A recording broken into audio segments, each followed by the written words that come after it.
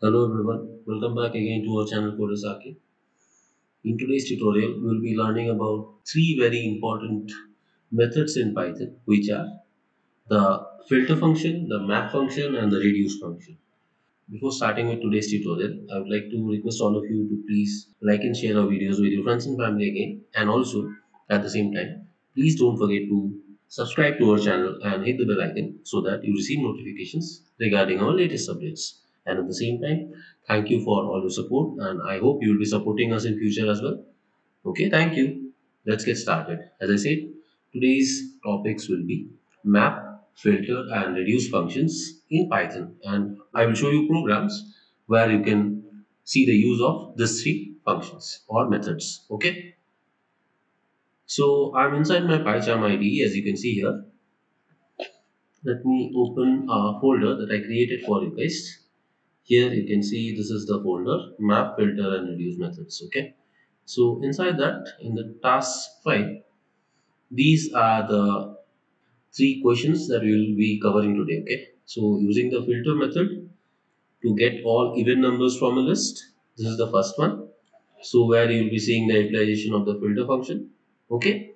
And using the map method to square all numbers inside a list. Okay. And the third one will be to use the reduce function to calculate the product of all elements of a list. Okay. And guys, this three functions will be utilizing the lambda expressions in Python. Okay. So let's get started with the first one using the filter method to get all even numbers from list. Okay. So let me create the file p1 or filter method. Okay. So our task is to get all even numbers from a list. Okay. So let me take a numbers list is equal to I will take 1 to 10. Okay. We need to find all the even numbers from this list using the filter function or the filter method. Okay. So let me take another list called even numbers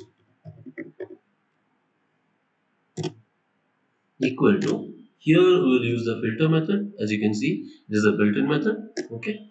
Uh, in the bracket we will be using the lambda expression okay? And then you have to give the parameter okay? The parameter for me is x and then you have to give the expression okay? So let me give the expression something like this. We all know that whenever a number is divided by 2 and the remainder is 0 it is an even number right? So i will say x modulus of 2 equal equal 0 comma and where are we going to search? We are going to search inside the numbers list. That's it okay? And let me just sort out the code a little bit so that it looks good okay? Yeah we are done. That's it. So let me repeat the task that i've done. Filter function first.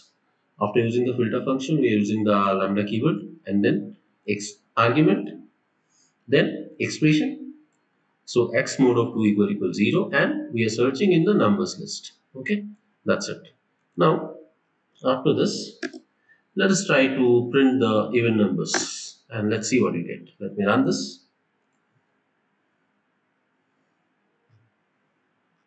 Okay, guys, you can see when I am only printing the even numbers list, I see that it is actually an object of a class. Okay, so what we need to do is we have to convert this thing into a list. Let us do it. Okay, now let's see what we get.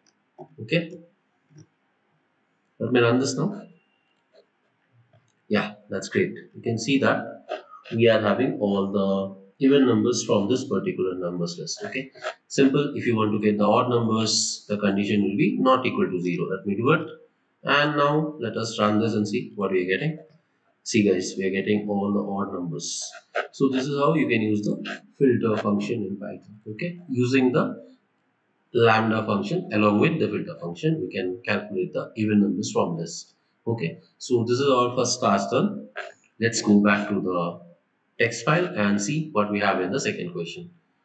The second question is use the map method to square all numbers in the list. Okay, now let's see how to do this. It's pretty easy. We'll be using the map method along with the lambda functions. Okay.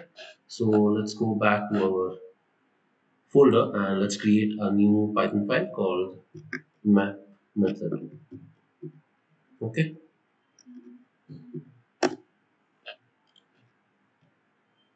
so here our task is to square all numbers in list okay by using the map function or the map method okay so let me simply take numbers list is equal to I'm simply taking some five numbers okay? One two three four five.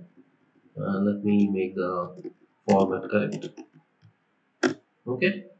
So these are five numbers 1 to 5 now let us take another variable called squared numbers is equal to we will be using the map function you can see it also belongs to the built-ins. And here we will take all the parameters. So first of all let me take the lambda keyword.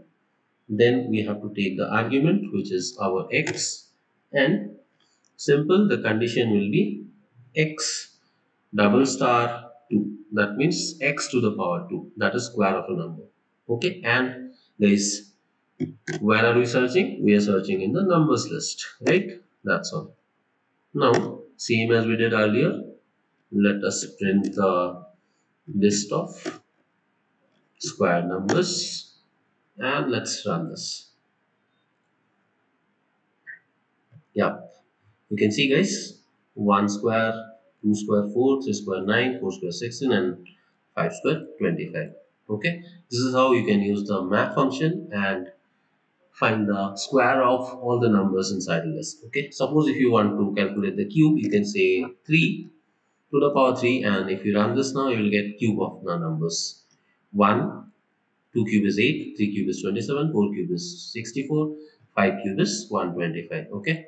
So it's easy right? Not that difficult. But you should know the syntax that's it okay? So with this we have done the second one also.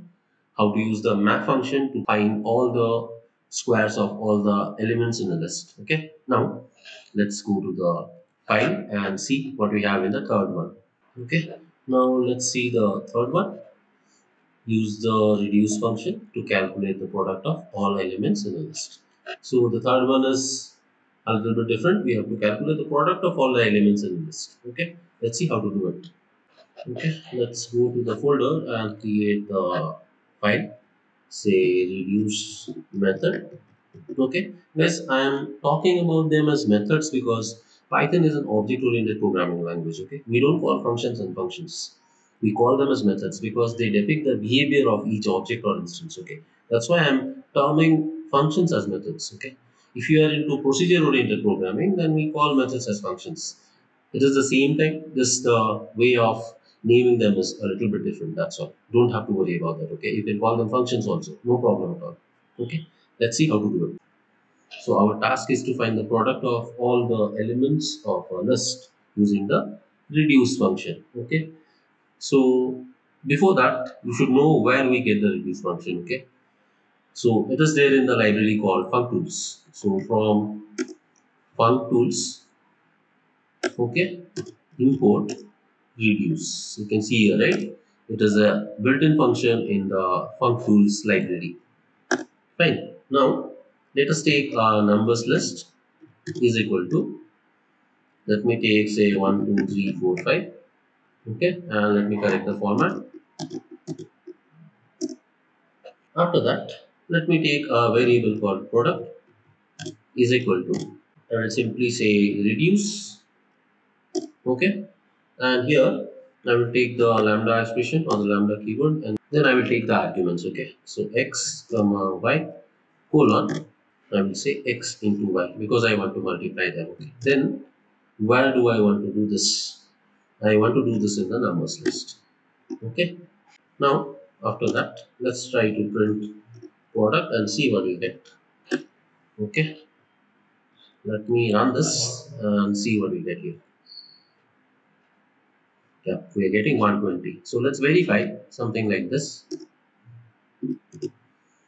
1 into 2 into 3 into 4 into 5 okay? So it's 20 60 120 okay? 4 5 is 20 3 is 60 2 is 120 So it's correct. Got it?